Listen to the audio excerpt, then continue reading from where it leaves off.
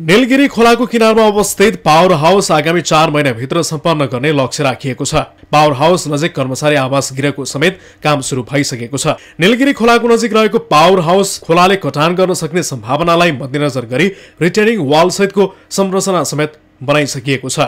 निजी क्षेत्रको पहलमा जिल्लामै पहिलो पटक विक्रमसम्म दुई हजार एकहत्तर सालबाट निर्माण थालिएको आयोजनाको मुख्य ड्याम बालुवा थिग्राउने पोखरी बाँधदेखि पोखरीसम्म नहर निर्माणको काम सकिएको प्रबन्ध निर्देशक प्रमोद श्रेष्ठले बताउनु भयो। चैत्रभित्रमा सम्पूर्ण चाहिँ यो निर्माण कामहरू सिद्ध्याउने र त्यसपछि वैशाख र जेठ र असारको अन्तिमसम्ममा यो इलेक्ट्रिक मेकानिकलको सामान जो इन्डियाबाट प्रयोग कम्पनीले पठाउँछ त्यसलाई चाहिँ फिटिङ गर्ने जुन हाम्रो टार्गेट छ त्यही अनुसार हामी लागेका छौँ। र मलाई जहाँ विश्वास छ हामीले यो चैत्र मसान्तभित्र हामी सम्पूर्ण निर्माण काम सिद्ध्यायौँ भने अनि त्यसपछि चाहिँ फिटिङ काममा सुरु हुन्छ।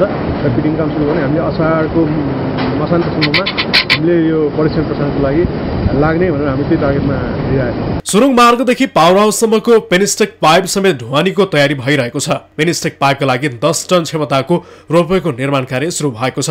आयोजनाको ड्याम इन्टेकमा आवश्यक पर्ने निर्माण सामग्रीका लागि खोला नजिक मिनी क्रसर मेसिनको जडानले समेत निर्माणकर्तालाई सहज भएको आयोजनाले जनाएको छ। घलेन्दी खोलाको धार परिवर्तन गरी दुवै तर्फबाट निर्माण भइरहेको संरचनाको दैनिक सञ्चालक समितिका सदस्यबाट निगरानी मजदुर र ठेकेदारलाई आवश्यक पर्ने सामग्री सुरुङ मार्गबाट ट्र्याक्टरमा ढुवानी गर्ने गरिएको छ। आयोजनाको मुख्य काम सुरुङ मार्गको फिनिसिङको कामलाई समेत तीव्रता दिएको कम्पनी सचिव लक्ष्मी निधि रुजालले बताउनु भयो पावर हाउसदेखि ड्यामसम्म करिब एक सय पचासजना मजदुर कार्यरत छन् दैनिक गरिने कामको अघिल्लो दिनमै योजना बनाइने भएकोले पनि निर्माण कार्य सहज भएको रिजालको भनाइ छ।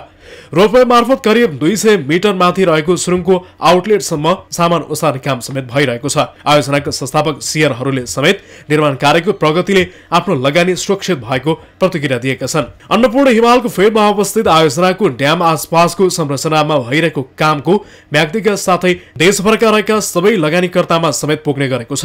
आगामी छ महिनाभित्र परीक्षण उत्पादन गर्ने तयारी समेत गरिएको छ। अडतिस करोड पचास लाख संस्थापक सियर रहेको आयोजनामा विभिन्न वित्तीय संस्थाले लगानी गरेका छन्। घलम्दी खोलाबाट उत्पादित विद्युतलाई राष्ट्रिय प्रसारण लाइनमा जोडिनु भएको हो। सम्झौता अनुसार आयोजनाबाट उत्पादन हुने विद्युतलाई विद्युत प्राधिकरणले खरिद गर्ने भएको छ। मासिक साढे तेह्र करोड रुपियाँ बराबरको विद्युत खरिद गर्ने प्राधिकरणले वर्षायाममा चार रुपियाँ अस्सी पैसा र हिउँदमा आठ रुपियाँ चालिस पैसा प्रति युनिट विद्युत खरिद गर्ने जनाएको छ। न्युज ट्वेन्टी टेलिभिजनका लागि व्यक्तिबाट टिभी जर्नलिस्ट हरिकृष्ण गौतमको रिपोर्ट।